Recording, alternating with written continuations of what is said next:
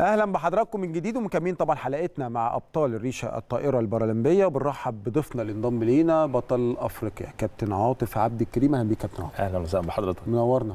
بوجودك. أنت أول ما دخلت الاستوديو كده اديت يعني يعني زي ما بيقولوا يعني روح إيجابية لكل الموجودين. الحمد لله هم كلهم بيقولوا لي كده على فكرة. حتى شفت شهاب آه. شفت؟ أنا ما قلتش حاجة. أنا بقول لك اصل أنا بيجي لي أبطال كتير جدا. يعني زيك كده طبعا أنت بطل كبير. الله يحفظك. فاللي بيخش بيبقى عنده يعني طاقة إيجابية لكل اللي موجودين بيبقى باين حتى هو داخل وبيهزر وبيضحك وداخل ويعني فأنت عندك ما شاء الله ال ال ما هو إحنا لو. ما اديناش الطاقة الإيجابية دي لنفسينا إحنا مش هنعرف نشتغل فلازم يبقى في. طاقة إيجابية تبقى عندك وترسلها للآخرين كمان طيب خلينا الحمد لله يعني خلينا نتكلم عن بطولة أفريقيا يا بطل أفريقيا اتفضل أنت لعبتها في أوغندا ال- ال- ال class بتاعك اكتمل كان مكتمل صح؟ لا. طب لعبتها إزاي؟ ال class بتاعي ما اكتملش فاندمجنا لل class الأعلى أوبا آه بس الحمد لله؟ ينفع؟ آه ده قانون آه، قانون. عادي. آه ده طب قانون كنت دولي. كام واحد في ال class بتاعك؟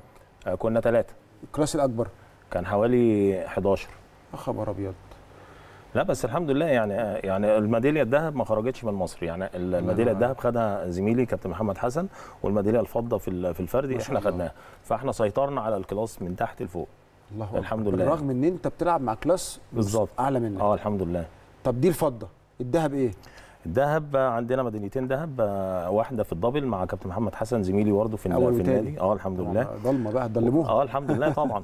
وال- والميدالية الذهب الثانية كان في ال mix مع زميلتنا شيماء سامي طبعا البطله. الكبيره يعني. إحنا بنحيي شيماء طبعا هي مش معانا النهارده. وبنحيي محمد حسن كمان. أيوه. مش معانا وهنخلي حضرتك تقول كمان أسماء المنتخبات. أنا عرفت الأسامي منكم بس في آخر الحلقة يعني هنستأذن حضرتك نقول كل كل الأسامي. طب تسمح لي يعني أعرض للسادة المشاهدين. الذهب يعني. خلينا يعني بصوا يا جماعة دي الميدالية. خلي يعني أنا هفضل ماسكها شوية كده لغاية ما السادة المشاهدين يعني يشوفوها. خليني أجيبها عشان الإضاءة أيوه كده.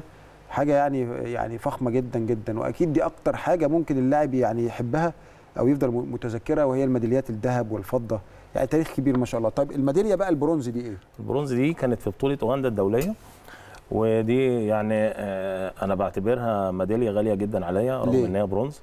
لأن إحنا كان مشارك معانا لعيبة من من دول عالمية كتير. يعني كانت مفتوحة. مفتوحة. آه كل البطولة دول العالم. جايين. كان في كوريا وكان في إيطاليا وكان في أسبانيا وكان في أستراليا. برافو عليك. فالحمد لله رب العالمين. وفي الهند. الهند دي طبعا من الدول المتقدمة. طبعا. ف- ألعاب المضرب هي بالذات الريشه الطايره والحاجات دي الهند جامدة فيها قوي فكوني أنا خدت ميدالية برونز في في البطولة ال- الدولية أنا بعتبرها بمثابة ميدالية غالية جدا بالنسبة لي. أنا بعتبرها ذهب. ما دي مؤشر هتعمل إيه في البطولات الكبيرة الدولية. بالظبط. أنا فاهم قصدك كرياضي انت باصص لإيه؟ انت مش باصص إن ميدالية لا انت مين منافسينك؟ وبعدين إحنا بنبص إحنا كنا فين ودلوقتي الحمد لله إحنا بقينا فين. إحنا دلوقتي لعيبة مصر كلها بقت تبص على الرانك ال- العالمي بتاعها وصلنا لفين وهنتقدم إزاي وهنتطور إزاي. الحاجات دي كلها اللعيبة المصرية دلوقتي بتدور عليها. إحنا كنا الأول في البداية خالص في 2017 إحنا كنا بس بنلعب عشان نشارك. انما دلوقتي انت بتلعب. عشان تنافس وتسيطر على أفريقيا وبعدين تبتدي تخش في المحافل العالمية كمان. انت رانكك كام دلوقتي يا كابتن؟ دلوقتي أنا 24 ما شاء الله. الحمد لله. يعني طب خلينا نتكلم عن البدايات في 2017 في البدايات خالص. أيوه. ليه الريشه الطايرة البرلمبيه وابتديتها إزاي؟ وحبيتها إزاي؟ يعني ياسمين قالت لي من المدرسة أنت بقى. طيب إحنا الريشه طايرة بالنسبة لنا ما كانش حد يعرف عنها حاجة خالص. فابتدت في مركز شباب حدائق القبة مع زميلي كابتن محمود عطية ده مدربي الأول. هو هو رقم واحد اللي علمني ريشة طايرة. أنا ما كنتش أعرف حاجة خالص عن الريشة فهو كان كان مدرب ريشة لولد آه، ذهني معاه اسمه معاذ. فانا شفته بيلعب معاه فعجبتني فمسكت المضرب ابتديت ألعب لقيت الدنيا كويسة. يعني أنا بعتبر نفسي مثلا أول واحد حركي أول حركي. مضرب آه. مسكته كان سنة كام؟ 2017 يا خبر أبيض في الفترة القريبة دي الله أكبر وصلت لإيه؟ ما شاء الله. الحمد لله يعني بفضل ربنا سبحانه وتعالى ومجهود ناس كتيرة طبعا جدا. بداية من مدربيني في الأندية. أنت كنت هتقول وأنا قطعتك أول واحد يمسك مضرب إيه؟ ريشة لل- للمعاقين حركيا. يعني ما. ياسمينة طبعا قصار القامة دي أول واحدة طبعا إنما المعاقين حركيا أنا بعتبر نفسي أول واحد مسك مضرب ريشة طايرة في مصر ما الحمد شاء لله. يعني ما شاء الله. ده ده وبدات ده فخر يعني والله. لا ده ما- ده حقك. أنت بتتكلم عن حقك وتاريخك. طب أنت كراجل بطل ابتديت آه، وخدتها خطوة خطوة لعبت في مركز شباب حدائق القبه صح؟ يا أيوة. طيب هل هو بيحتضن اللعبة فعلا ولا كنت بيمارسوها على مستوى الهواة. لا بيمارسوها على مستوى الهوايه وإحنا بس اللي كنا بنمارس فيها. يعني ما ما كانش فعلا. ما كانش أصلا فيها أسوياء ولا حاجة. إحنا ابتدينا في. في- المركز بالبارالمبي مع كابتن محمود عطية لغاية ما عرفنا إن في event هيعمله الاتحاد الأفريقي. دي صورتك يا كابتن ها؟ آه دي صورتي. ده كان في بطولة أوغندا الدولية دي الميدالية البرونز بقى. طب قول لي الأبطال. معلش سيبوا لنا الصورة دي شوية. هو طبعا قول لي اللي على يمينك وشمالك. ال- مركز أول كان مين؟ المركز الأول اللاعب الكوري طبعا. مم. والمركز الثاني اللاعب الإيطالي. ده رقم ستة على العالم. أنت الثالث ما شاء الله. آه وأنا وال- والأسباني في المركز الثالث الله أكبر أنت وسط يعني عظماء اللعبة. الحمد لله يعني عشان كده. أنا فهمت ليه أنت حابب الميدالية دي. بس. آه يعني أنا عرفت أنت النهارده يعني ليه معتز جدا بالميدالية دي. بس إن شاء الله هتعتز بالميدالية الأولمبية أكتر بإذنك يا رب. يا رب يا رب. بإذنك يا رب. كله بتسهيل إن ربنا شاء الله. طيب آه، بدأت تتدرج واحدة واحدة واحدة عمل منتخب مصر. أيوه بالظبط دخلت المنتخب إزاي؟ الأول كان في ورشة آه، عمل أو كان في event كده تبع الاتحاد الأفريقي. آه، كان آه، سنه 2017 يا كابتن صح؟ 2017. معلش أنا هقطعك. بس بس هعلق على الصورة دي. اتفضل. طبعا ده class من الكلاسات المختلفة. أيوه. بس طبعا شايفين الإرادة يعني ده طرف صناعي وعامل معلش jump يمكن الأسوياء ممكن ما يعملوش. بس أنا بدي مثل إنه ال- الإعاقة بتبقى إعاقة البني آدم لنفسه مش إعاقة حركية. يعني تباع نشوف الصور يعني. دي شيماء دي بطلتنا شيماء طبعا اللي ما كانتش معانا النهارده. يعني هي معانا بس يعني بالصورة بس إن شاء الله هتكون ضيفتنا في حلقة من الحلقات. وهي بعد- ده بعد مكسب مباراة طبعا في أوغندا وصرخة ال- الفوز والمكسب. آه، كابتن محمد شعبان. كابتن. محمد شعبان. ما. شاء الله الله أكبر. يعني كلها كلاسات مختلفة على حسب حجم ودرجة الإعاقة ولكن زي ما قلت لحضراتكم آه، الإعاقة ما شاء الله. يعني يعني آه يعني يعني يمكن برضو درجة عالية من الإعاقة دي ولكن ما ما وقفتهاش طبعا إن هي تلعب. زي ما حضراتكم شايفين وإرادة ودي بتهيألي ك- برضو آه بتهيألي برضو هنا دي كسار القامة برضو دي برضو يعني بيشارك.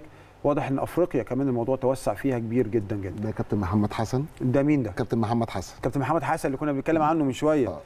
ما شاء الله برضو عليه يعني واضح برضو. آه آه. طيب. ودي برضو يعني ده ده هو بيلعب بزي عصاية. عصاية خشب آه. مع إرادة وشغل. يعني والله أنت عارف أنا نفسي أتفرج على الماتشات دي. والله بجد لو في لينك أو حاجة هاخده منكم لأن أنا نفسي أتفرج. ودي طبعا لوجو البطولة لأن الحقيقة بتشوف إرادة وتحدي بشكل كبير. طب خلينا بقى أرجع لرحلتك تاني اتفضل. ونستعرض بقى الصور وإحنا بنتكلم. منتخب مصر بدأت إزاي؟ إمتى عرفت إن في منتخب مصر اتكون؟ هو ما كانش في منتخب مصر هو كان في الأول آه، ورشة العمل بتاعة الاتحاد الأفريقي دي فابتدوا يبعتوا للناس فكنا حوالي 17 18 واحد بس اللي ابتدينا نمارس وبعدين آه، اتكون المنتخب. كانت فين ورشة العمل دي؟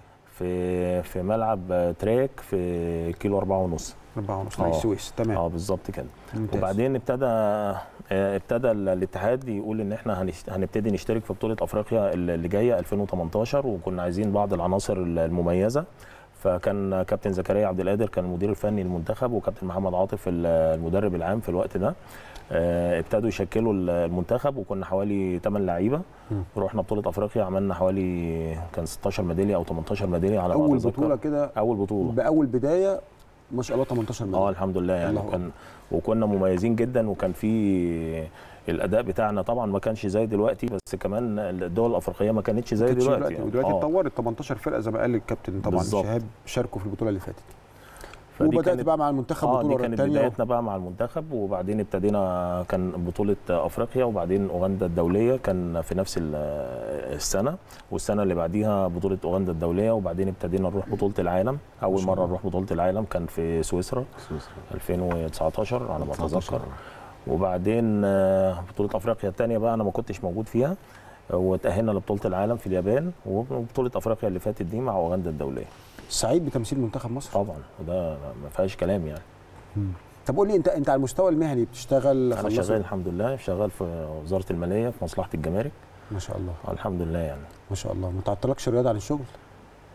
والله لا طبعا استحالة يعني. ما أنا. أنا لسه كنت بتكلم مع كابتن شهاب أنا شغال في العاصمة الإدارية ما دلوقتي. شاء الله. بخلص شغلي في العاصمة الإدارية وأطلع على مركز شباب حلوان اللي أنا بلعب ليه دلوقتي. مشوار.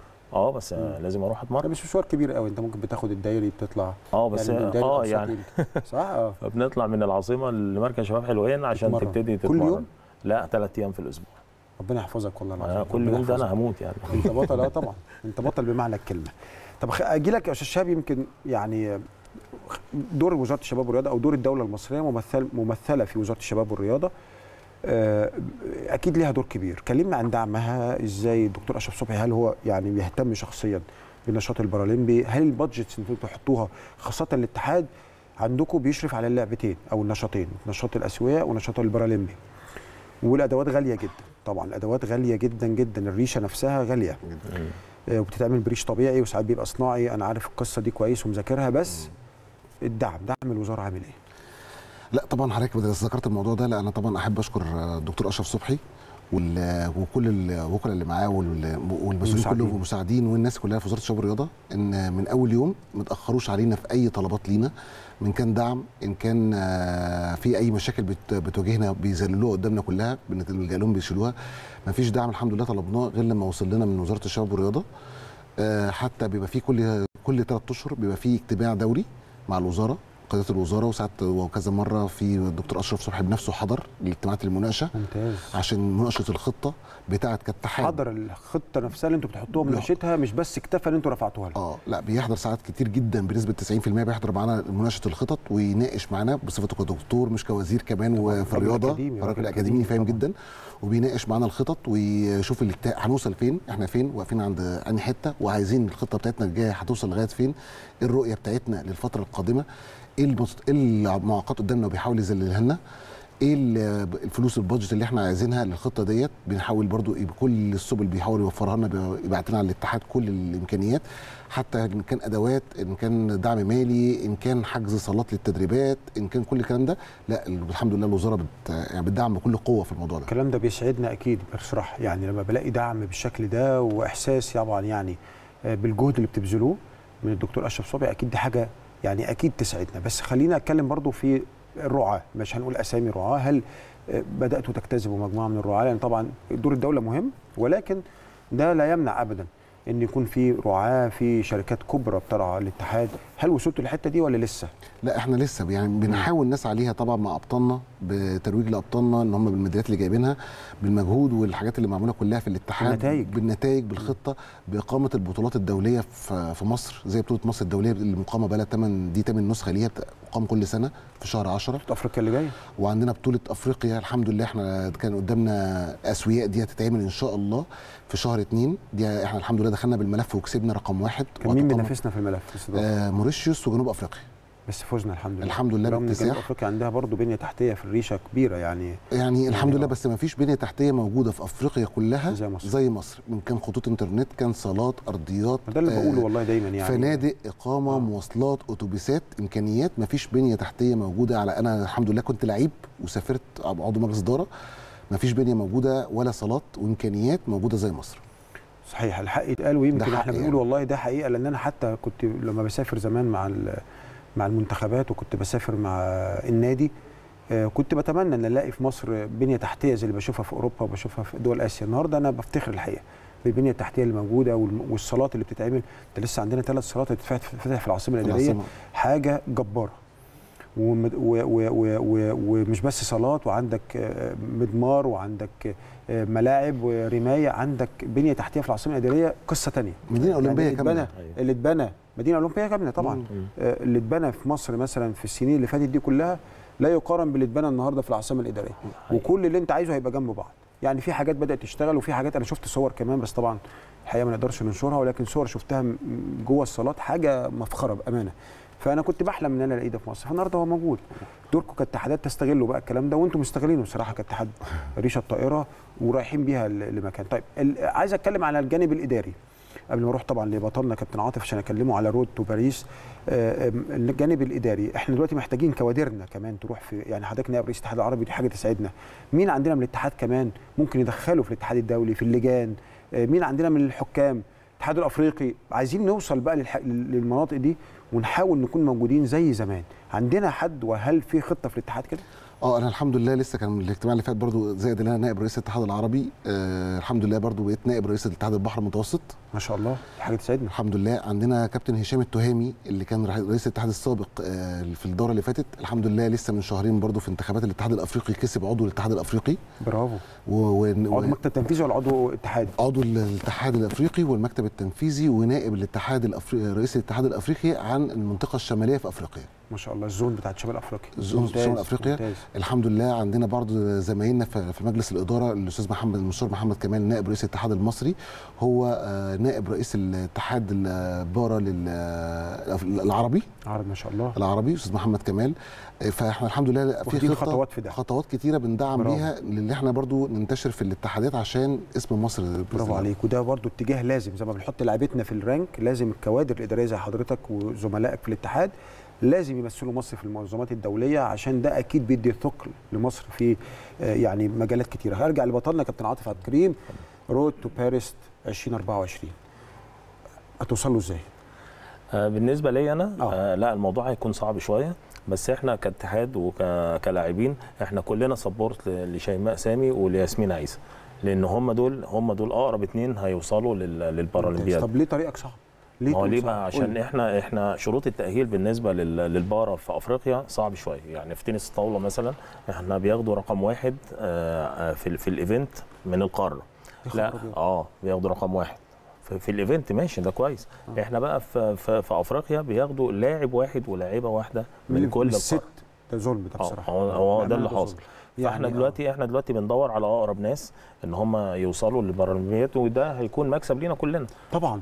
بس هنا انت أشرت لنقطة مهمة جدا. انت طريقك صعب مش عشان آه، الموضوع لا عشان انت الفير يعني أفريقيا ما كانتش اللعبة منتشرة فيها بالظبط. فكان حصتها ضعيفة جدا. جدا. بس النهارده مع تطور مستوى أفريقيا ده وده الكلام اللي كنت بقوله لازم يبقى لينا كوادر جوه الاتحاد الدولي عشان توصل الصورة دي. ويمكن بعد ما يجي مركز التنمية اللي يتفتح في مصر بعد ما قال ضيف طبعا العزيز آه، كابتن شهاب ممكن ده يبقى ليه انطباع مش لباريس 2024 بقى يبقى بعد اللي بعد كده يبقى لوس اللي أنجلوس تقريبا اللي هتعمل فيها ده اللي إحنا بنسعى له اللي إحنا بنحاول نوصل للاتحاد الدولي إن التمثيل القاري بالنسبة للأولمبياد ده مهم يزيد. جدا ولازم يبقى فيه تمثيل من كل مسابقة لكل قارة بس نعم. يعني ده زي كل الألعاب في الدنيا يعني كل على الأقل كل لاعب من كل event. بس يبقى يعني كده ده أكيد. آه ده الطبيعي يعني. فطبعا اللي حاصل دلوقتي إن مش هو ده اللي موجود فأنت ما, ما ينفعش اللي أنت بقى ما تدعمش زمايلك يعني. لا ده بالعكس ده أنت تبقى داعم ليهم وداعم ليهم قوي كمان إن هم يوصلوا حاجة. لبارالمبياد باريس ويعملوا حاجة طب كمان أقول لك على حاجة أنت عارف إيه اللي ممكن يفتح لنا الطريق؟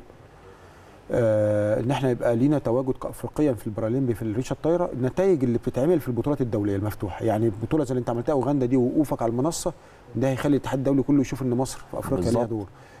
لو برضو رحنا بطولات كتير ومصريين كتير غزوا الموضوع هتلاقي يقول لك لا طب ما أنا أزود الحصة الكوتا بتاعت أفريقيا وهيبقى إحنا لينا النصيب الأسد خاصة إن إحنا صحيح آه، أبطال أفريقيا. صحيح. فأنت ليك دور على فكرة مش بس دورك إن أنت آه، آه، تتأهل لا أنت ممكن تفتح الطريق لنفسك ولغيرك على مدار الأربع سنين جايين. ما هو ده اللي إحنا بنحاول نعمله بقى.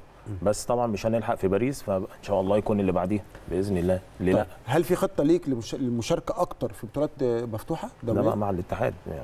طب ما هيغششنا. بقى. ما هو هيقول بقى هو طب سريعا كده عشان فاضل لنا دقيقة يا كابتن. آه ان شاء الله في خطة طبعا موضوعه عشان طبعا آه، باللعيبة مشاركة في عندنا بطولة العالم بإذن الله. عندنا بطولة مصر الدولية البارا اللي هتعمل في مصر كله هيشارك إن شاء الله بإذن الله فيها بأكبر عدد ممكن هننزل فيها. في بطولات دولية لسه بتتناقش دلوقتي خطتها وإمكانياتها والدعم هيوصل فيها إيه؟ لو كده إن شاء الله بإذن الله ممكن يشاركوا في يعني في خطة. موضوعة وماشيين عليها وكل شوية وبتتغير يعني على حسب المتغيرات. كابتن شهاب أنا بشكرك شكرا جزيلا على الاتحاد المصري ولا الاتحاد العربي بشكرك شكرا جزيلا نورتيني وشرفتيني وكل التوفيق للريشه الطايره شكرا لحضرتك جدا. كابتن عاطف عبد الكريم بطل أفريقيا في ريشة الطائرة البارالمبيه ونجم مصر وأحد يعني الأبطال. الكبار جدا نورتينا وشرفتينا يا كابتن شكرا لحضرتك وشكرا لقناة النادي الأهلي طبعا على الاستضافة الجميلة دي. نورتنا يا كابتن أعزائي المشاهدين دي كان حلقتنا النهارده عن البارالمبي- آه، ريشة الطائرة وشفنا قد إيه الجهد المبذول شفنا ابطالنا حطينا الضوء عليهم ودي مش هتبقى آخر حلقة لينا معاهم الحقيقة.